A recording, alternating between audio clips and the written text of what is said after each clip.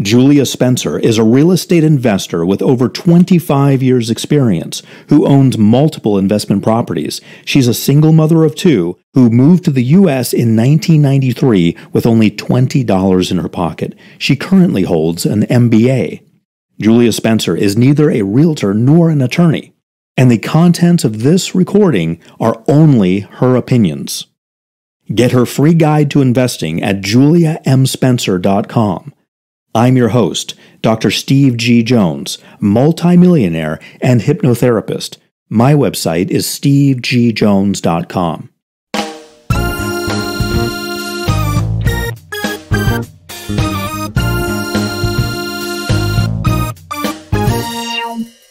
Make more money with tax sale investing.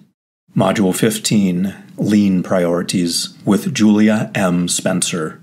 Hello, this is Julia M. Spencer. I'm a real estate advisor, investor, and your number one source for real estate advice online. Thank you so much for purchasing my second ebook on how to make more money with tax sale foreclosure investing.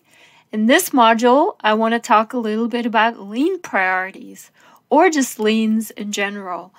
Um, this particular module came to be specifically because I had a lot of questions from subscribers. There's a cu- couple questions I get all the time over and over again, and I've answered them in some of my videos on YouTube.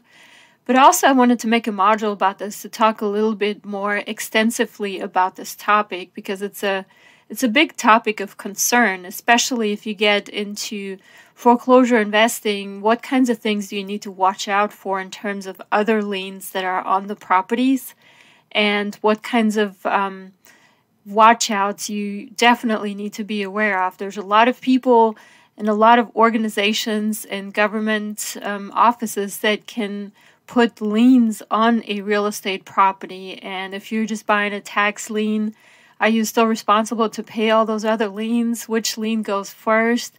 What kinds of things you need to watch out for? In this particular module, I'm going to answer all of those questions so that there's no doubt in your mind whatsoever what you're buying, when you're buying a tax sale foreclosure property and what things you will be responsible for and which things you're not going to be responsible for. And I'm also going to tell you a couple of examples, some of the things that I have done and have discovered over the course of my investing career so that you can be a little bit more aware of the specific examples that I um, refer to and some of the things that um, are basically the real world of real estate investing. So I guess I want to start first with basically what um, kinds of liens there actually are. And I'm going to jump right into the question that everybody always asks me first is how about the mortgage? Um, a lot of people don't want to go into this type of investing, tax sale foreclosure investing, because they're afraid that, hey, yeah, I'm going to buy this property for $1,500 or $2,000, and now all of a sudden I'm stuck with this huge mortgage, which is still on this property. Am I going to be responsible for that? What happens to it? Um, I get this question over and over and over again, and I have repeated myself, but I'm going to definitely answer this question here right now.